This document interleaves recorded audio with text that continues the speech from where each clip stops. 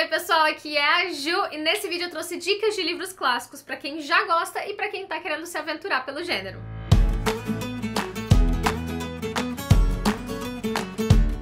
Aqui a convite da Estante Virtual, que é um marketplace de livros novos e seminovos, com o propósito de democratizar a leitura, para convidá-los a participarem do feirão de livros que tá rolando lá no site, com várias ofertas. Nesse feirão, eles têm barraquinhas com diversos gêneros, como a Barraca do Beijo, com romances inesquecíveis, a Banca de Jornal, com livros de não ficção, a Barraca Coração de Mãe, com os boxes mais desejados, e a Barraca Vanguardista, com livros clássicos incríveis. E é para falar desta barraca vanguardista que eu estou aqui, gente, eu trouxe dicas de clássicos que eu acho que são incríveis, que eu acho que vocês vão gostar muito e acho que eles se encaixam aí nessa barraca vanguardista. E para ficar melhor ainda, para vocês aproveitarem essas ofertas, é só usar o cupom Juliana7 para 7% de desconto lá no site da Estante Virtual. Então aproveitem, já pega as dicas aqui no vídeo e corre lá pra Estante Virtual. Antes de começar a mostrar os livros para vocês, já se inscreve aqui no canal se você não é inscrito ainda, ativa lá o sininho para ser notificado toda vez que eu postar um vídeo novo e me acompanha lá no Instagram também, que eu tô super ativa por lá, postando várias coisas, várias das minhas leituras também.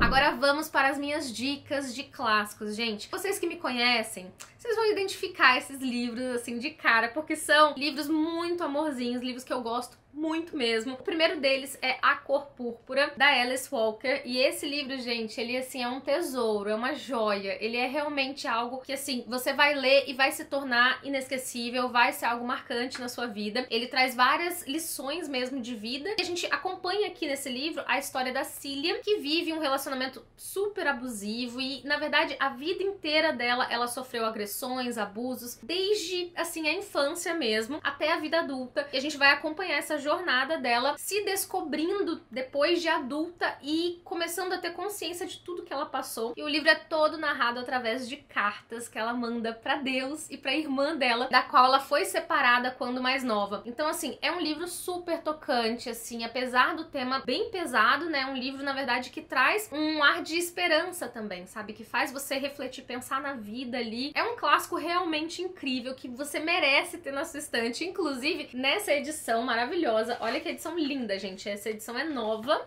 é a coisa mais linda. Eu mostrei lá no meu Instagram também e falei um pouquinho sobre o livro, mostrei a edição assim e falei um pouquinho. Então assim, é sensacional. Olha só, por dentro ela tem vários detalhes assim, a coisa mais linda e o corte também é aqui em couro que púrpura. Ai, gente, lindo demais, super recomendado. O próximo clássico é um super mega clássico. Eu acho que todo mundo já assistiu pelo menos uma adaptação aí de O Mágico de Oz. E esse é um livro que me marcou muito, inclusive na época que eu dava aulas, né, que eu era professora, porque eu lembro de ter usado muito o filme e algumas falas, algumas partes do livro, a música, tema do filme nas minhas aulas, né? Porque é uma história muito conhecida, então assim era muito familiar para os alunos, né? Mas a história em si é muito tocante. Eu acho que eu nem preciso falar muito de enredo aqui do Mágico de Oz, né? Porque a maioria das pessoas já conhece aqui a Dorothy. É muito fofinho e eu lembro de ter assistido a adaptação depois de ler, porque eu, eu acho que eu assisti quando era mais nova, mas não lembro direito Inclusive, essa história, ela já, assim, realmente se espalhou, né, pela cultura pop também. Tem peças de teatro, é muito, muito conhecida, né? E a partir dessa história é que eu comecei a me interessar por clássicos infantos juvenis, porque eu acho que eu não dava muita bola, sabe? E muita gente realmente desdenha dos clássicos infantos juvenis porque acha que são só para crianças,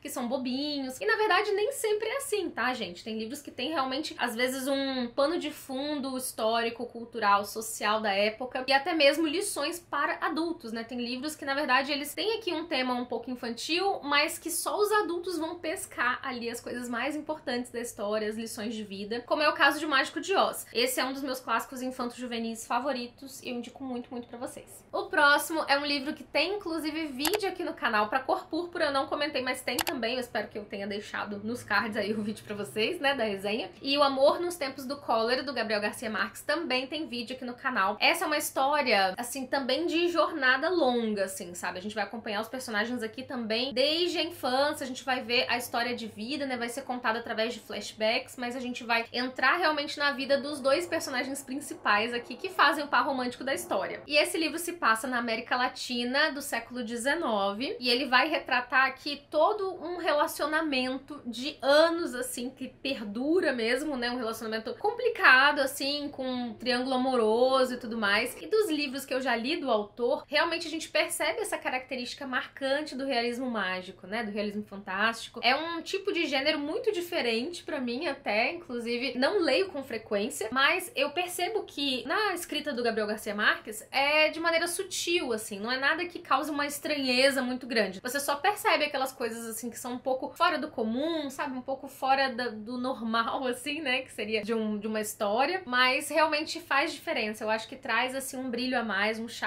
pra escrita. E a escrita do autor é realmente sensacional, vale muito a pena conhecer. Se você nunca leu nada do Gabriel Garcia Marques, olha, excelente pedida para começar. Eu ainda não li o livro principal, assim, né? O mais famoso dele, que é o 100 Anos de Solidão. Tenho aqui, inclusive, na mesma edição dessa aqui, né? Mesma coleção. Quero muito ler. Se vocês já leram, gostam, se me recomendam, deixa aqui nos comentários pra eu saber, porque realmente é um livro que eu tô adiando, assim, ó, um tempão. Mas, nossa, preciso ler. Adoro Gabriel Garcia Marques, realmente sensacional. Um outro clássico incrível que eu super recomendo pra vocês é o David Copperfield, do Charles Dickens. Eu fiquei até na dúvida se eu colocava aqui, de repente, o Grandes Esperanças ou o David Copperfield. Eles têm características muito parecidas, esses dois livros, e são dois calhamaços, né? Eles são realmente, gente, gigantescos, mas, assim, valem super a pena e acho que são leituras muito fluidas, apesar de um conteúdo muito extenso, assim, né? De ter muito conteúdo, muita coisa. Ainda assim, são histórias que eu sinto que fluem muito, que não tem linguajar difícil, pelo contrário, né? O próprio Charles Dickens, ele escrevia para as massas, né? Para o povo, então ele escrevia de uma maneira muito acessível, fácil de compreender, né? Ele escrevia em folhetim ainda, que era publicado nos jornais. Então é tipo um novelão mesmo, né? Dá aquela sensação de você estar tá acompanhando os personagens como se fosse numa novela mesmo. Então essa é uma história que eu super recomendo. Essa é a história do próprio David Copperfield, que é um menininho que fica órfão e é criado assim de uma maneira um pouco severa demais, de uma maneira muito aquém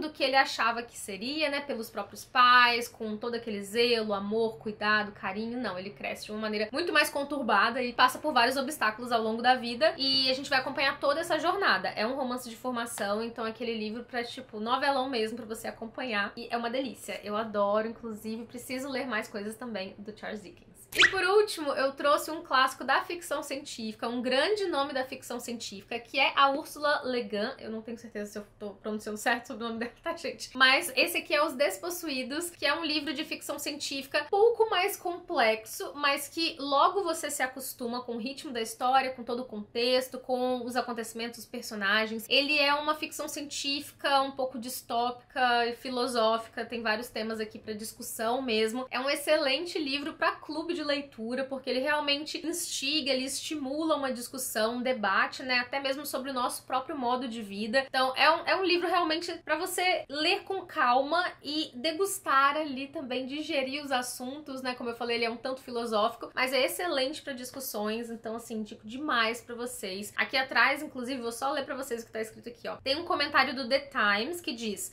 para ler de novo e de novo. E um do Stephen King, por isso que eu quis ler para vocês, né, que diz o seguinte: está entre os grandes, não somente como autora de ficção científica, é um ícone da literatura. Então, assim, gente, Stephen King falou, né, a gente que obedece. Né? Então, assim, leiam, eu acho que é um livro assim desafiador de certa forma, pouco mais complexo do que esses outros que eu comentei, mas ainda assim uma baita história, assim, um baita livro mesmo. E a história desse livro é um tanto diferente. Aqui nós temos dois planetas, E Urras, e eles vivem regimes sociais bem diferentes, né? Em um dos planetas, as pessoas vivem um regime mais capitalista, como se fosse os dias de hoje aqui, o que a gente vive na, no planeta Terra, né? E no outro, as pessoas vivem, na verdade, um regime em que elas dividem os bens, em que elas compartilham tudo e que ninguém é dono de nada. Ninguém pode ter uma roupa que seja só dela. Essa roupa ela vai passar adiante, se ela precisar, ela vai conseguir outra. E ainda por cima não existe uma, uma fonte de poder assim um governo, sabe? Que domina, manda, controla. As pessoas elas, elas mesmas têm cargos ali, né? E não existe essa hierarquia também, né? A pessoa que cava um buraco, que trabalha ali cavando buracos, é igual a pessoa que trabalha entregando